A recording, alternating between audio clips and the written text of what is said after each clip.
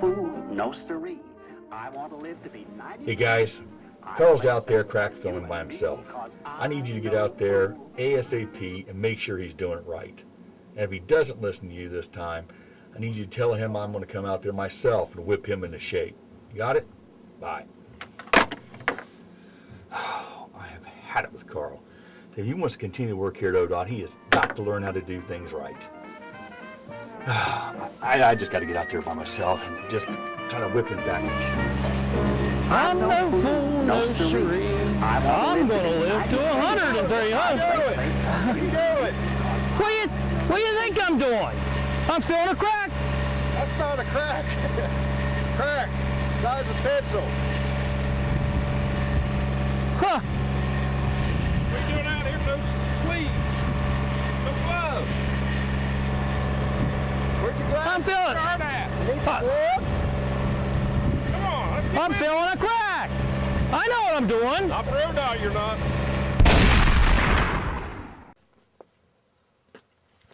Carl, did you forget to do a pre-trip inspection? Well, blow my goose! Someone forgot to put oil on the dang thing! That someone would be you, Carl.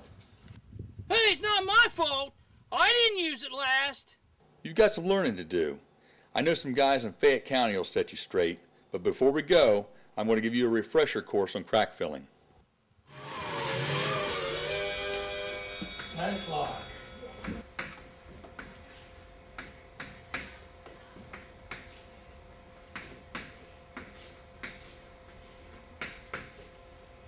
Carl, what are you doing? Those aren't the right answers for that. I mean, you just don't understand this. I can see this already. Sit down in that chair right there, and I'm going to tell you all about crack filling, because this is, this is just not getting anywhere. Now remember, Carl, you have to be safety smart to first start off with. That means you're wearing the right protective equipment and doing it. Yeah, yeah, yeah, you and your safety smarts. Listen, Carl, crack filling can be very dangerous, especially when you're using unique equipment that gets very hot. There are cars speeding by and other people you need to be aware of to do a safe and productive crack filling job. Too much can go wrong if you don't pay attention and work as a team. That's why it's important to understand the how, what, why, and when of crack filling. Wow, I guess I got a lot to learn. No wise one of crack filling. Don't be a wisecrack, Carl. Crack filling is a preventive maintenance tool which helps extend the life of the pavement, anywhere from one to three years. Cracks in the pavement surface allow water and other uncompressible materials such as sand, dirt, and debris to enter the pavement structure. The presence of cracks can dramatically accelerate deterioration and weakening of the pavement. This is especially important given the current transportation funding environment and focus on being more efficient and effective in our operations. Selecting the proper pavements for crack filling is critical to ensure the preservation and extension of life of pavement. Since crack filling is a preventive maintenance technique that has no structural capacity to pavement, ideal pavement candidates for this technique exhibit minor pavement distress and have sufficient structural capacity to meet present and future structural needs. Pavements with transverse and longitudinal cracks are good candidates for crack filling. oh, man, my brain hurts.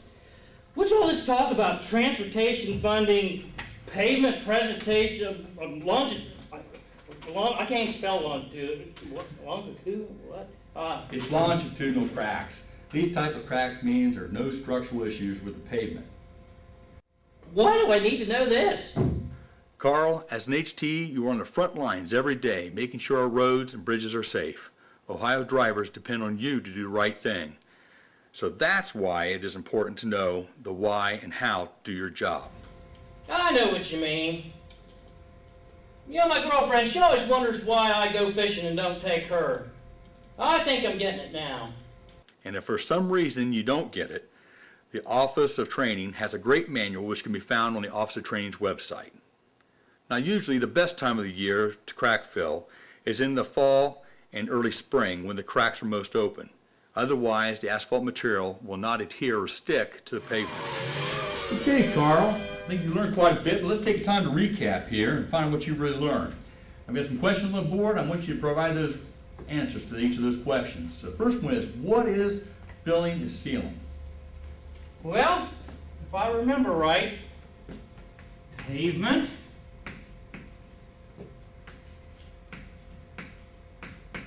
Preserve, tre- pre- preservation. Preservation. How, how, how you spell that?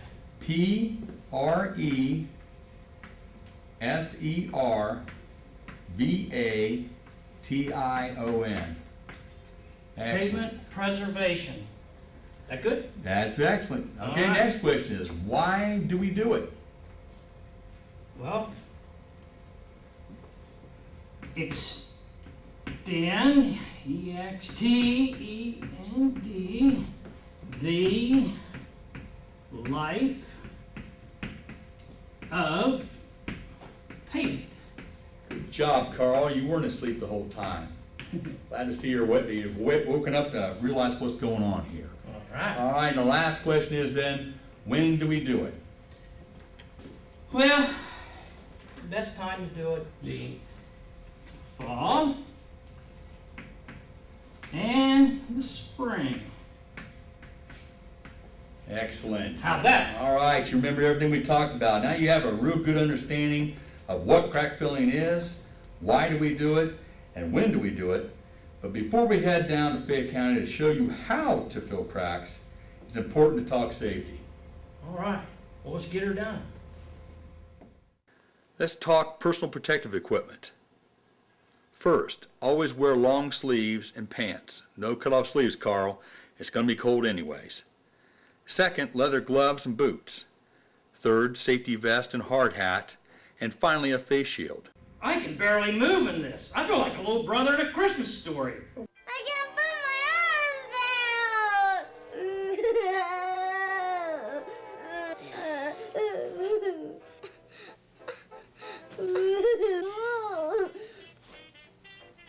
Well, put your arms down when you get to school. Ah!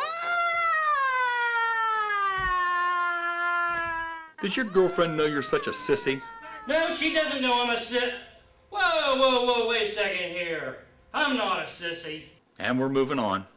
Now remember, you need to have the right safety gear, which includes vest, hard hat, gloves, long sleeves and pants, boots and face shield. Now that you know the required PPE, we need to go over the other safety items which can save your life and the lives of the others on your crew. Don't worry, Carl. We won't go into too much detail. We'll leave that to the Fayette County crew. And remember, all this can be found where, Carl?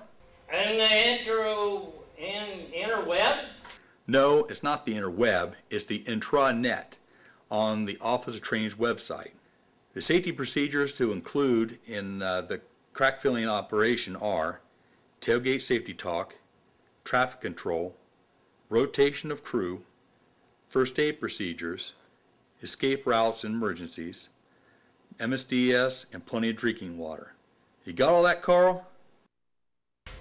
It's in lunchtime yet. My belly's talking to me. I need some grub, and it ain't now. You've got a lot to learn, Carl. Come on, it's time to visit the Fayette County crew and show you the proper way to get her done. Okay.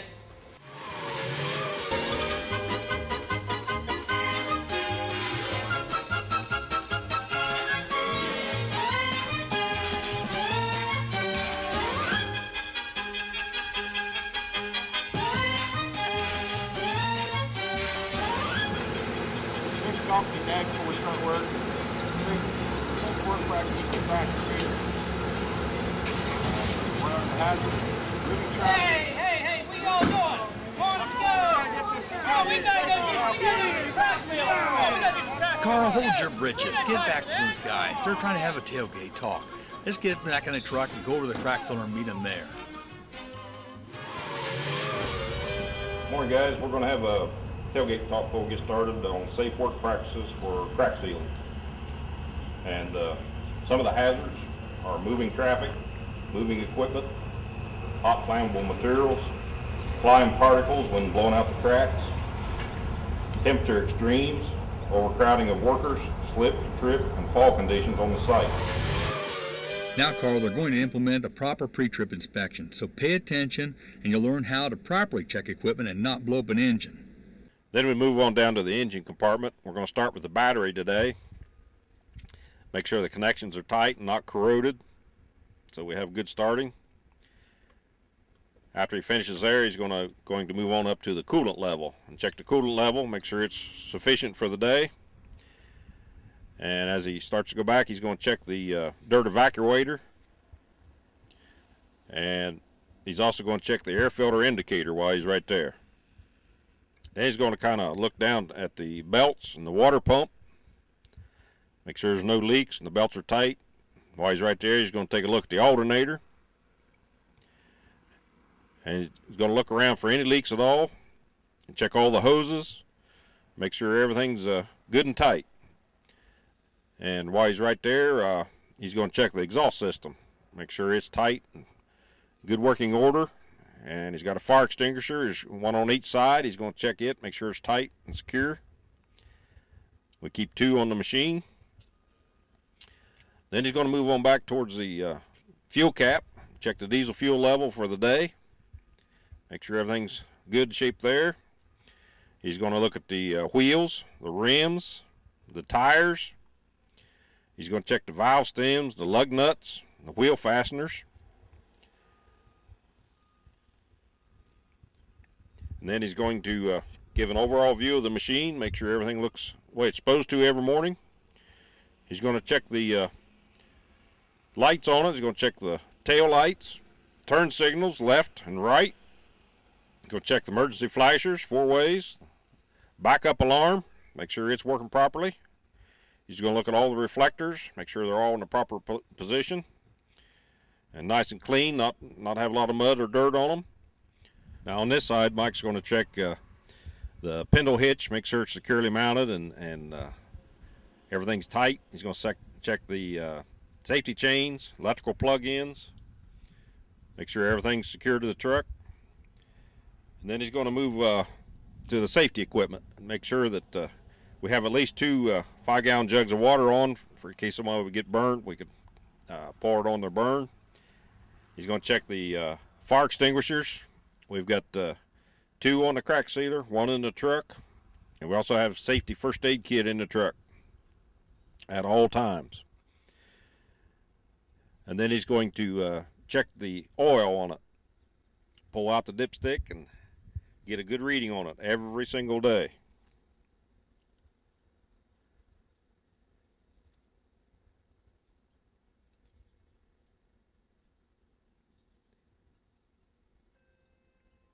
And after that, he's going to move on back and uh, get the start hours off the machine. There's a gauge right there that shows the start hours and the shutdown hours. We record that every day. And he's going to check for the uh, hydraulic oil. Uh, make sure the level's okay on it. Then he's going to move back up to the uh, starting gauge and he's going to turn the, turn the switch to the left for the preheat. Just takes a few seconds to preheat it. And then he's ready to fire the machine up.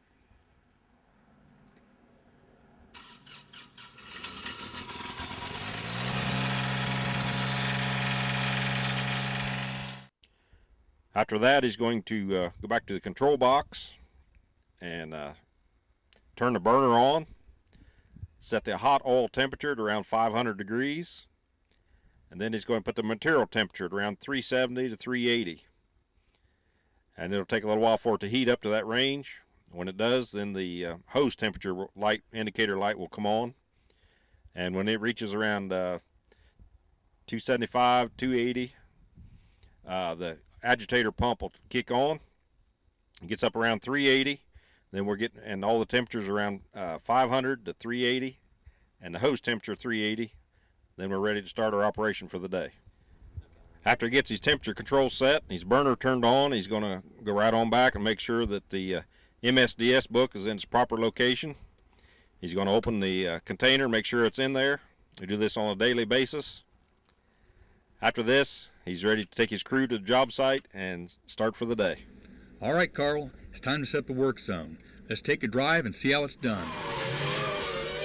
You see, Carl, they follow the OMUTCD for setting up proper work zones. Without a proper work zone, someone could get seriously injured or killed.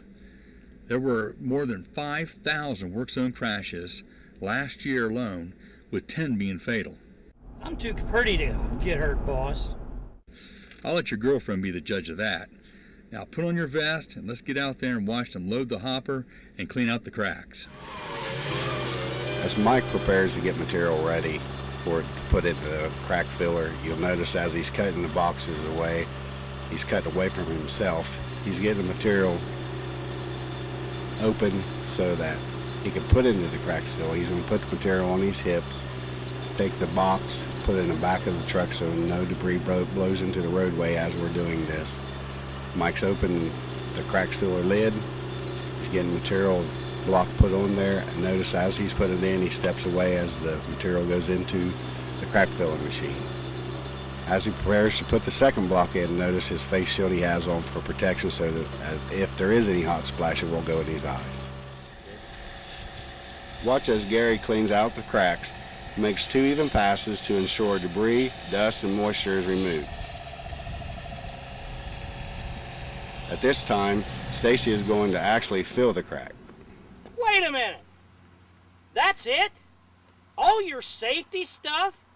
Tailgate talks? Pre-trip inspections and blah, blah, blah? Just rubbing a little black glue in the ground? Okay, wisecrack. Let me show you why ODOT does it this way. This work is dangerous, and all it takes is a little mistake, and you can severely injure yourself or one of your crew members.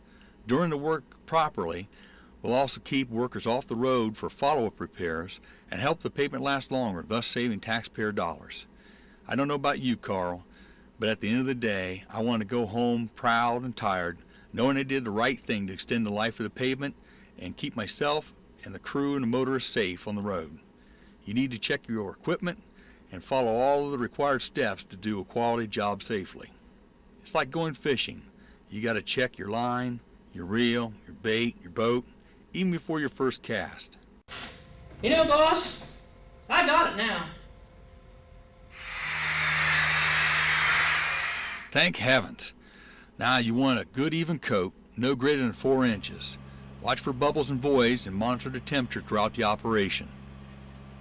Hello everyone. I hope you've enjoyed this best practice video. All joking aside, it is vital that we implement the proper ways to crack fill. That means taking the extra steps of keeping yourself and each other safe. So let's clean up and let's get out of here. And remember this, we want to get her done and we want to get her done safe.